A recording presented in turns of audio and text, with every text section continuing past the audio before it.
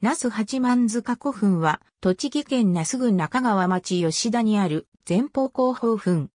平成14年、駒形大塚古墳、吉田温泉神社古墳群とともに、那須商船古墳群の名称で、国の史跡に指定された。中川右岸の貸し段球場に西面して築かれた。全長62メートル、後方部幅31メートル、胴高さ6メートル、前方部幅17メートルを測り、墳丘には吹き石が確認されている。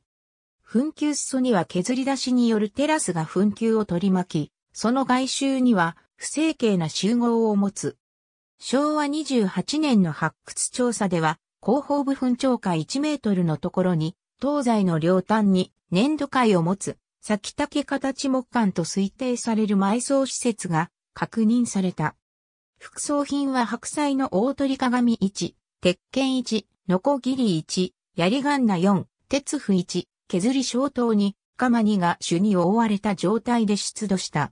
なお鏡は木管東寄りの位置から出土したため、被葬者は東枕で埋葬されたらしい。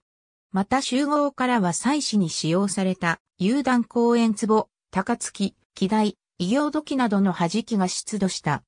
本古墳は、弾きの年代間から4世紀後半の築造と考えられ、駒形大塚古墳、吉田温泉神社古墳に後続すると考えられる。現在は失われた前方部を含めて復元整備されている。